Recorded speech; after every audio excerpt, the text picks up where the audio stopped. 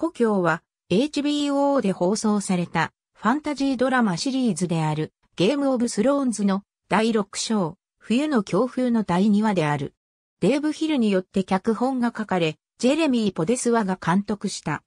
題名は、ブランが原始で故郷ウィンターフェルに戻ることと、シオンが故郷、鉄諸島に戻ろうとすることを指す。ダボスの願いで、メリサンドルがジョン・スノーを復活させる。ラムジーは父、ルースを殺して、ボルトン校を継ぐ。ブランは緑視力を訓練し、父が少年の頃のウィンターフェルを見る。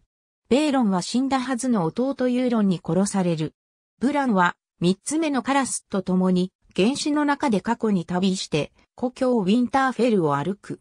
若い日の父エダード、その妹のリアナ、弟のベンジェン、言葉を話し、ウィリスと呼ばれていたホーダーを見る。現在に戻り、ブランは洞窟に閉じこもることにあぐんだミイラと話す。リーフは、ブランはいずれ洞窟を出ることになり、その時はミイラを必要とすると語る。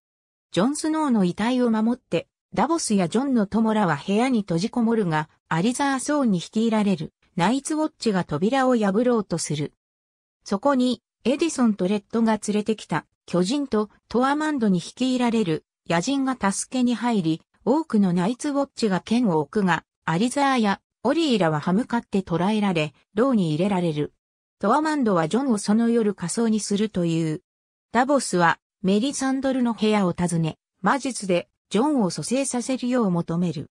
信仰の揺らぎ始めたメリサンドルは躊躇するが、解き伏せられ、トアマンド、ダボス、ゴーストらの見守る中で蘇生を試みる。何も起きずに、ゴーストを残して人々が去った後、ジョンが目を見開く。ウィンターフェルでルース・ボルトンがラムジーとハラルド・カースターク校から報告を聞く。ラムジーはサンサが黒の城のジョン・スノーのもとに逃げたと言い、黒の城を襲うべきだと言うが、ルースは北部の諸侯の支持を失うことになると言って退ける。そこにメイスター、ウォルカンがやってきて、ルースの妻、ウォルダに息子が生まれたという。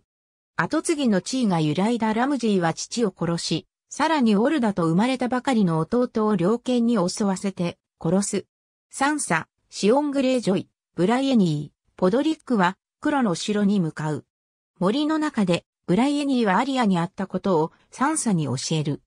黒衣をまとえば許されると、サンサはシオンに語るが、罪の意識に苦しむシオンは、故郷の鉄諸島に帰りたいという。キングズランディングで、サーセイを侮辱した男を、再生したマウンテンが殺す。サーセイは、王の命令により、紅の王城を出て、娘ミアセラの葬儀に出ることができない。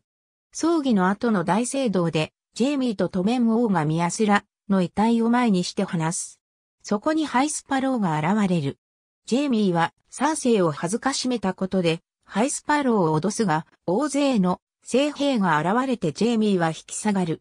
トメンはサーセイに母と妻を守れなかった自分の弱さを詫びる。ティリオン、グレーワーム、ミッサンデイ、ヴァリスは情勢を話し合う。船団は焼かれ、他の奴隷商人湾では、親方が復権し、ドラゴンはデナーリス・ターガリエンが去った後食事を取ろうとしていない。ティリオンはバリスを伴ってピラミッドの地下に入り、2頭のドラゴンと対面する。ドラゴンはティリオンを攻撃せず、首輪を外させる。盲目のまま通りで小敷を続けるアリアをフロージが訪れ、なお尋ねては棒で打ちのめす。弱縁フイコール側もなお尋ね、言えば宿と食べ物と視力を返すという。アリアは名はないと答え続け、ついに弱縁はアリアを伴って通りを去る。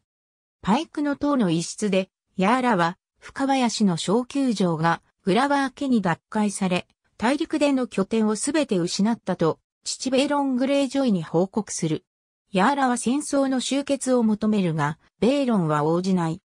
ベイロンは、吊り橋で別の塔に向かう途中、死んだはずの弟ユーロン・グレイジョイに投げ落とされて殺される。